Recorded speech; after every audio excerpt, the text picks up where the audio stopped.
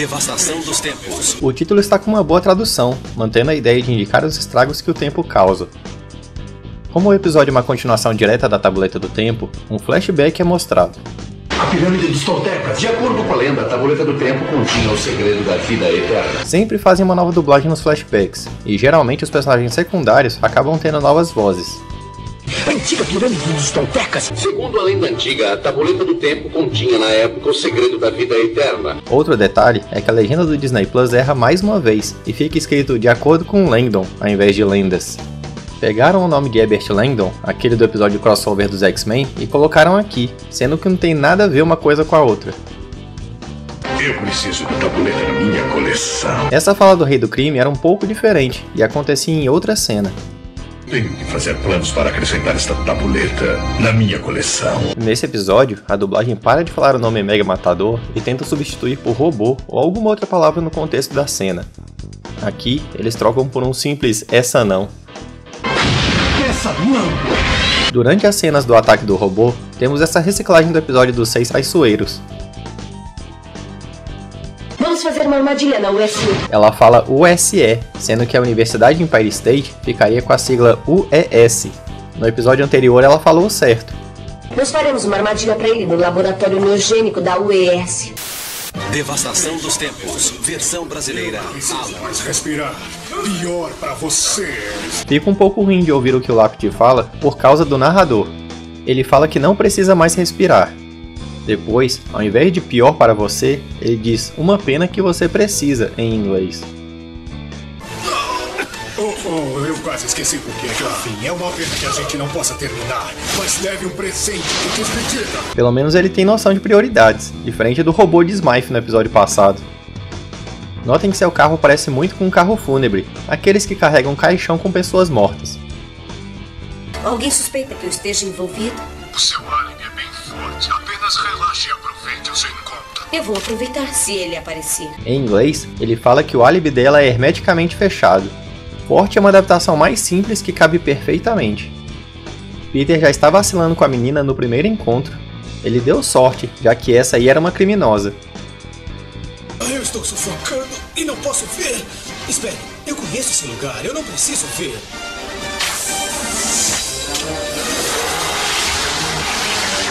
É incrível como um pouco de ar fresco faz um cara ficar tão mais forte. Caramba, haja memória do local. Sem enxergar, ele conseguiu acertar o interruptor de primeira, enquanto estava esmagado por um instante. Para uma montanha de mármore ambulante, ele é bem rápido. Em inglês, ele compara o lápide a um Monte Rushmore ambulante. Esse é um ponto turístico situado na Dakota do Sul, que tem esculpido o rosto de quatro presidentes americanos. Curiosamente, o monte é composto principalmente de granito, mesmo material usado em alguns tipos de lápide. Oh, não. A lanchonete. Eu tinha que encontrar a Alissa Silver para jantar. Spider falou o nome da lanchonete em inglês. Como já comentamos em outro vídeo, a Coffee Bean está presente nos quadrinhos, sendo o ponto de encontro dos alunos da Universidade Empire State. Nesse episódio, vamos ouvir muito sobre o nome de Alissa, algo que não foi falado no episódio anterior. Enquanto se preocupa em perder mais uma garota, o aracnídeo vê o cabeça de martelo entrando no local e sequestrando Alissa. Terminou seu café. Cromadinho. Em inglês, o aranha chama o vilão de Chrome Dome. A expressão normalmente é usada para dizer que alguém é careca, já que pode ser traduzido como domo cromado. No caso do cabeça de martelo, seria uma referência à placa de metal na sua cabeça. Outra diferença é que ao invés de falar simplesmente café, Spider fala latte em inglês. Continua sendo café, mas por ter uma mistura de leite, recebe esse outro nome. Eu notei que ficam trocando a cor da camisa dos capangas. Enquanto descem do furgão, um deles parece ter uma roupa roxa e um colete, mas ninguém aparece com essa roupa depois. E pelo que eu entendi, são três capangas junto do cabeça de martelo, um de verde, outro de vinho e outro de amarelo. O estranho é que quando o de camisa vinho sai, aparece um de camisa vermelha, e na cena seguinte, ambos pegam a Alissa. Lá fora, voltam a aparecer três capangas, sendo que o de camisa amarela some. Porém, quando o aranha ataca, o de amarelo volta a aparecer. E nessa mesma cena, a teia some por um frame. Cabeça de martelo consegue derrubar Spider num buraco e começa a enchê-lo com cimento. Ótimo! Agora vou virar uma estátua de aranha tamanho real, só que sem vida! Isso pode ter sido uma referência ao filme Dick Tracy, de 1990, onde vemos um chefe do crime matando uma pessoa usando cimento. Homem-Aranha será um peso morto em 10 segundos! Em inglês, ele fala que em 10 segundos o aranha se tornará uma lombada, também chamada de quebra-molas em algumas regiões. Nossa dublagem adaptou como peso morto, e fez muito mais sentido, já que ninguém faz um buraco desses para construir uma lombada. Eu preciso de uma alavanca! Alavanca a caminho! Em inglês, ele fala que precisa de uma âncora, ou seja, um local de apoio para se prender. Como âncora já nos faz pensar em um navio, a dublagem preferiu mudar para alavanca, que é exatamente onde a teia vai. Por causa disso, tiveram que adaptar também a frase seguinte, onde ele diz alavanca a caminho. Em inglês, ele fala anchors away, uma frase dita pelos marinheiros quando todas as âncoras foram levantadas para o navio seguir em frente. A palavra away não é muito conhecida e acaba sendo confundida com outra palavra de mesma pronúncia, e é claro que a legenda do Disney Plus ia errar nessa também. Um detalhe dessa cena é que o buraco parecia meio fundo, mas o aranha consegue atirar uma teia quase reta e acertar a alavanca tranquilamente. Enquanto o herói freia o caminhão para evitar estragos, vemos uma cena meio bizarra. Um outro caminhão aparece do nada, se abre e revela um helicóptero lá dentro. Como diria Spider, Mas o que é que está acontecendo? esse caminhão ainda faz menos sentido quando lembramos que os vilões haviam chegado numa van. Com seu helicóptero que surgiu do nada, Cabeça de Martelo consegue sequestrar Alissa. Primeiro levam o Dr. Connors e agora a Lisa Silver. Quem vem depois? A Tia May? Eu vou pra casa por uniforme reserva antes que eu vire o Lápide Júnior. Fisk recebe uma mensagem do Cabeleira de Prata dizendo que sequestrou sua esposa. Interessante que colocaram até um pedaço de cabelo dela para indicar que é verdade. Smythe oferece o robô Mega Matador para resgatá-la, mas Fisk deixa a tarefa nas mãos do Cabeça de Martelo, já que o mafioso falou que tinha um plano. Se ele falhar, eu o pego. Esqueça essa ideia. Quem é essa garota? Deixe-me apresentar a você Alissa Silver, mais conhecida como Alissa Cabeleira de Prata. A filha dele. Ele disse que tinha um plano. É, pelo jeito Cabeleira de Prata, ou Silvermane no original, virou um sobrenome no desenho. Nos quadrinhos, esse nome é um apelido, sendo Silvio Manfredi o nome verdadeiro do mafioso. Esqueceram de colocar a manga roxa da camisa dela nessa cena. O colete azul chegaria só até o ombro. Agora o Cabeleira de Prata vai saber como é ter a vida de uma pessoa amada em risco. Notem que ele dá uma olhada no cabelo da garota, fazendo referência à mecha de cabelo que recebeu na mensagem. Você fez uma duplicata exata do topo da pirâmide Tolteca? É, e bem aqui em Nova York. O pessoal da tradução parece estar ficando melhor a cada episódio. Em inglês, o lápide fala Big Apple, e ao invés de só traduzirem como Grande Maçã, entenderam que essa é uma forma de chamar a cidade de Nova York. Cabeleira de Prata fala dos seus objetivos de usar o poder da tabuleta, mas Connor se recusa a ajudá-lo por causa dos riscos.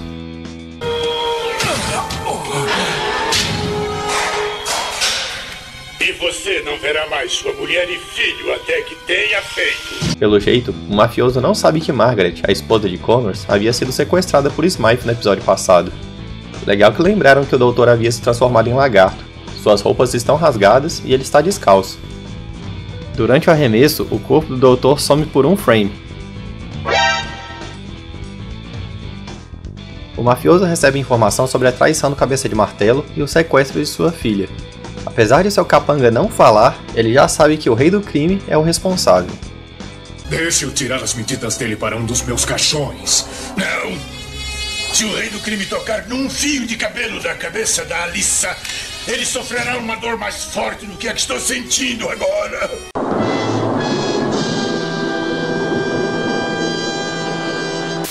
Enquanto isso, o Aranha pensa numa estratégia para lidar com seus inimigos. Se o meu novo adesivo pegar na frigideira antiaderente da tia May, eu conseguirei me segurar naquela armadura escorregadia. Certo, Smite. Estou pronto para o nosso pequeno encontro. Bem que eu comparei o robô com a panela no episódio passado, hein? Notem que a dublagem deu uma vacilada ali. Peter fala que ele irá conseguir se grudar na armadura, mas em inglês ele fala que o adesivo vai grudar. Tanto que ele usa o rastreador no teste, e não as pontas dos dedos. Outro detalhe é que na dublagem brasileira ele não fala o nome do robô. Por que eu não posso encontrar a Demi Moore aqui em lugar daquele monte de lata? Ou quem sabe a Shadow Stone. Conforme havia combinado com Smythe no episódio passado, o Aranha vai ao encontro do Mega Matador no topo do Empire State. Interessante que a nossa dublagem mudou o nome das atrizes que ele fala no original, para atrizes mais conhecidas no Brasil. O problema é que tira o contexto da fala. Ao invés de falar de Demi Moore e da Sharon Stone, ele fala o nome das atrizes Meg Ryan e Faye Ray. As duas também fizeram parte da lista de atrizes mais bonitas, mas em épocas bem diferentes, e o motivo do Aranha citar as duas é por causa do local onde ele está. As duas estrelaram filmes muito famosos, em que o prédio Empire State foi bem relevante. Meg Ryan estrelou no filme Sintonia de Amor, de 1993, enquanto Faye Ray estrelou o filme King Kong, de 1933. Spider fala que não levou Connors ao local porque o doutor foi sequestrado, mas Smythe não acredita e ataca o aracnídeo. Se o Smite não está com o doutor, quem estará? Ou o Aranha é cego, ou já considerou o Lápide como um capanga logo de cara. Ele viu que havia sido ele quem sequestrou o Connors. Notem que essa cena já tinha sido utilizada no episódio com os X-Men. Cabeleira de Prata entra em contato com o Rei do Crime para fazer a troca de reféns, e voltamos à Batalha do Aranha, onde tem mais cenas recicladas, como essa, lá dos primeiros episódios. Me escuta! Eu não estou com fome! Essa foi por pouco. A fala essa foi por pouco não existe na versão americana, apesar do Aranha realmente mexer a boca na cena. Ponto positivo para a nossa dublagem, que encaixou bem uma fala ali. O Rei do Crime fala que aceitou o acordo com Cabeleira de Prata, e Smythe simplesmente larga o Aranha para trás novamente. E temos aqui mais uma reciclagem de cena. Meu adesivo funciona. Fuja o mais depressa que quiser, Smite. Eu estarei sempre bem na sua grande cauda gorda e metálica. Estar bem na cauda fica uma tradução estranha. Em inglês, ele fala a expressão be on your tail, que tem o sentido de estar no encalço ou seguir o rastro.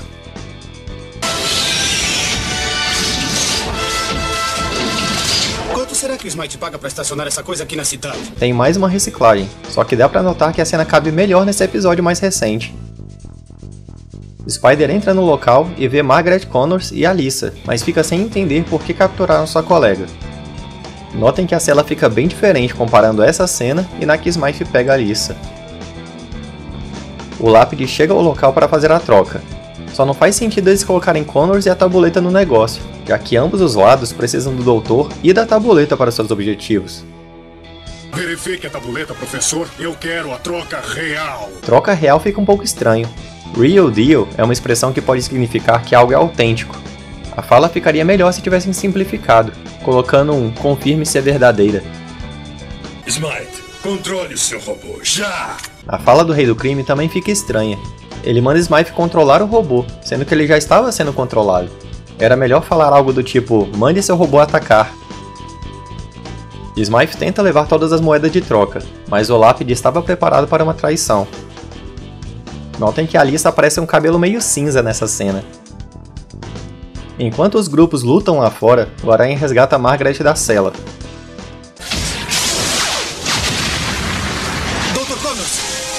Notem que essa explosão é a mesma que foi usada no prédio das galinhas no episódio passado.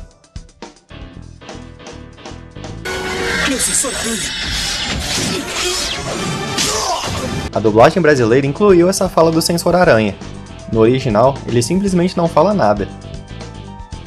Boa noite, princesinha. Agora durma com os anjinhos e tenha bons sonhos. Princesinha? Bons sonhos? Em inglês, essa fala de Smythe é uma referência à peça Hamlet, escrita por William Shakespeare. No ato 5, cena 2, Horácio diz essa frase enquanto seu amigo morre. Normalmente, a fala é traduzida como Boa noite, meu bom príncipe, que os anjos, com seu canto, ao repouso te acompanhem. Tenho um problema. Eu não sei para quem lançar. Para quem lançar? Em inglês, ele fala que não sabe para quem torcer, já que dois dos seus inimigos estavam se enfrentando.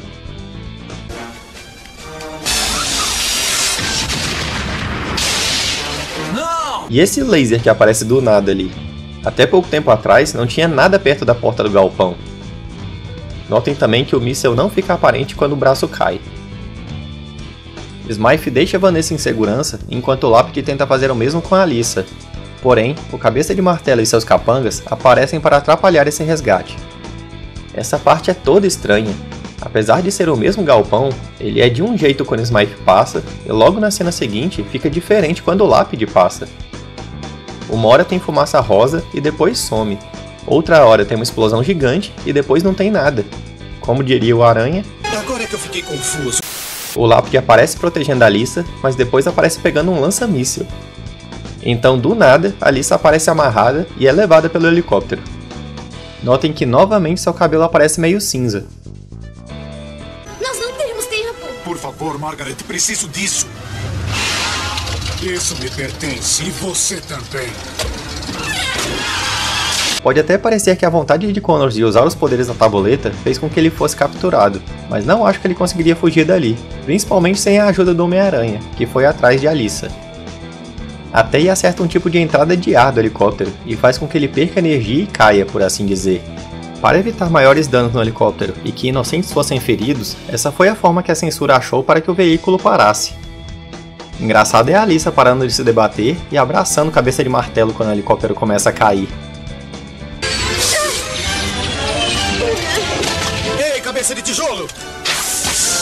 Em inglês, Spider chama ele de cérebro de tijolo, mas o detalhe maior é a teia, que acerta a arma, mas não gruda nela. Outro detalhe é que a Alissa já havia se soltado do cinto, mas aparece presa na cena seguinte. E o pior de tudo é o ataque nada a ver do cabeça de martelo, que só serve para ficar com a cabeça presa. O Spider já estava em cima da estrutura. O que, que ele queria acertar? Como o aracnídeo não desconfia de Alissa, ela se aproveita e atira nele, deixando-o inconsciente. Ela consegue levar o aranha no helicóptero, já que a teia sumiu magicamente daquela entrada de ar e o cabeça de martelo se enterrou à toa naquela estrutura. Tem certeza que não sabe onde eles estavam te prendendo, querida? Não, eu te disse que eles vendaram meus olhos. Agora me leve pra casa. É claro. Essa cena de Vanessa é a mesma que apareceu antes como uma memória de Fisk, só que rodando ao contrário. Você estragou mais uma operação importante, Smite. Nós também perdemos a garota e a tabuleta. O quê? O Homem-Aranha se agarrou em mim e daí a garota agarrou aquele cabeça de teia e se mandou com ele. Seus idiotas incompetentes. Se agarrou em mim, Spider nem encostou no helicóptero e nem no vilão. Em inglês, ele fala a expressão Got the jump on me, que significa ter vantagem na situação por ter se adiantado. E a história que ele conta é mais detalhada em inglês, com ele contando que Alissa atirou no aranha e fugiu com o helicóptero. Smythe encontra o rastreador aranha preso no robô, e tem a ideia de reverter o sinal dele para encontrar Spider, Connors e a tabuleta. Quem poderia imaginar que aquele Homem-Aranha ainda poderia me ser útil? Aquele Homem-Aranha. Fica até parecendo que tem mais de um. Desmascarar o Homem-Aranha é um privilégio reservado ao meu pai. Um intervalo feliz pra você, Homem-Aranha. Cabeleira de prata? O chefe do crime? Eu já li sobre ele nos arquivos do Beagles. Ele é o pai da Lisa. O Aranha fala do jornal onde ele trabalha, o Daily Bugle, traduzido como Clarim Diário nos quadrinhos. Na dublagem brasileira, quase sempre chamam o local só de jornal mesmo. Nem a Alissa e nem o Lápide falam o nome do Cabeleira de Prata na conversa, então não teria como o Aranha saber o nome do mafioso. Mesmo durante aquela luta, ninguém fala o nome do Cabeleira de Prata. Eu gostava dela. Acho que você dançou com essa, Parker. Dançou foi uma boa adaptação. Em inglês, ele usa a expressão head over heels, que normalmente tem o sentido de estar muito apaixonado por alguém. O Aranha pode ter usado a expressão para indicar que está muito envolvido com ela, tanto por ter gostado dela, quanto pela situação com a tabuleta. Connors consegue fazer a tabuleta funcionar, mas ainda fica preocupado com as variáveis em seu uso. Alissa não acredita que o doutor está preocupado de verdade e chama seu pai. Pelo jeito, o desenho esqueceu que a tabuleta estava prestes a entrar em uma reação em cadeia no episódio passado. Eu não consigo deter a reação em cadeia. Acho que nós devemos destruí-la. Tem poder demais para ser controlado. Segundo Smythe, somente Connors poderia controlar o artefato, e só agora que o doutor voltou a ter contato com a tabuleta. Esse é o Cabeleira de Prata? Ele é o velho que eu salvei do Dr. Octopus.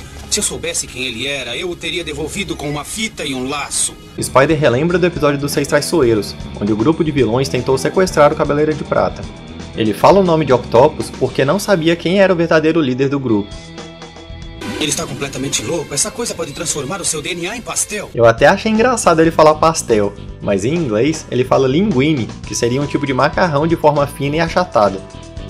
Como o DNA é uma estrutura representada com duas fitas juntas, faz mais sentido parecer um macarrão do que um pastel. Connor tenta novamente falar que o processo é perigoso, mas o Cabeleira de Prata simplesmente manda prender o doutor novamente. Abra o teto! Essa não, vai ser uma bela distração. Eu queria poder tirar vantagem disso. De novo, não falam o nome do robô. Engraçado que ele fala essa não novamente, assim como no flashback do início do episódio. Lápide protege seu chefe de um disparo e acaba fazendo com que a aranha solte um dos braços. O desenho usa as mesmas cenas para mostrar o aranha derrubando dois inimigos diferentes. Enquanto isso, o robô de Smite é destruído com um único tiro. Ele então redireciona a energia para pelo menos saber o que está acontecendo no local. Cabeleira de Prata usa um controle remoto que faz sair ainda mais hastes de metal da parede. Cabeça de martelo, chegue até aqui e me traga aquela tabuleta. Fica meio estranho esse chegue até aqui. Em inglês, ele fala get over there, que seria traduzido como vá até lá. Cabeleira de Prata então usa o poder da tabuleta. Como o local é uma réplica da pirâmide, tudo acontece igual, temos também o efeito do esqueleto dele aparecendo. Connors volta a manifestar sua transformação em lagarto. A mão dele parece que aumenta de tamanho aqui. Notem que a cena é a mesma do episódio passado, só que invertida. O lápide parece tirar uma teia do braço. O estranho é que a teia de Spider acertou somente na arma que ele estava carregando. Cabeleiro de Prata consegue seu objetivo e volta a ser jovem. Vamos ver quem está atrás da máscara! Algumas das cenas mostram poucas hastes de metal prendendo o aranha, sendo que até pouco tempo atrás ele estava coberto por elas.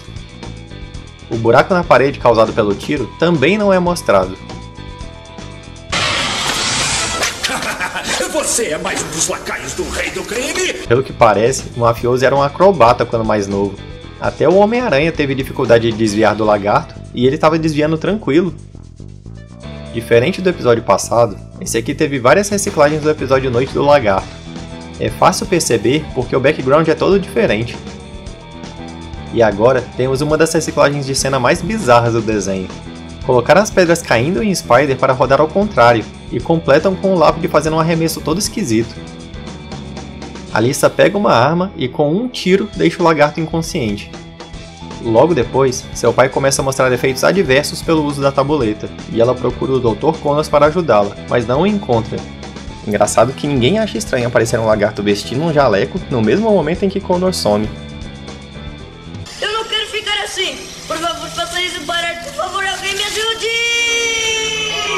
Incrível, ele queria sua juventude de volta e conseguiu. Na versão em inglês, o Aranha fala a última frase com um tom meio debochado. Notem que a roupa social azul parece até que derrete. Mesmo ele sendo um bebê, a camisa ainda ficaria presa nos seus ombros. E depois, quando a Alissa vai buscá-lo, toda a roupa vira um pano vermelho. Durante a luta do Lápide contra Spider, temos reciclagem de cena do episódio com os X-Men. Smythe consegue ativar as armas do Mega Matador e acerta o Lápide. E então, temos outra reciclagem dessa cena, e essa que pegaram lá da primeira temporada, só que aproximada.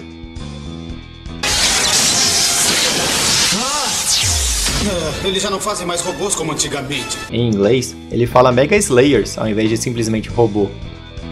Outro detalhe é que a cabeça de Smythe some depois do background mudar, o que não faz sentido. Cabeça de martelo aparece e ataca o aranha.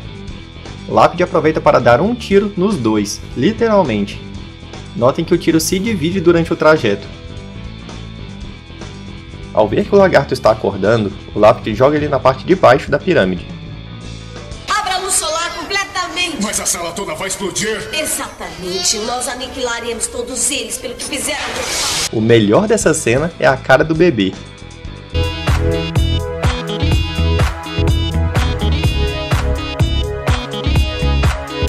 Com a luz solar entrando sem limitações e ninguém para receber o raio da tabuleta, a energia começa a se acumular.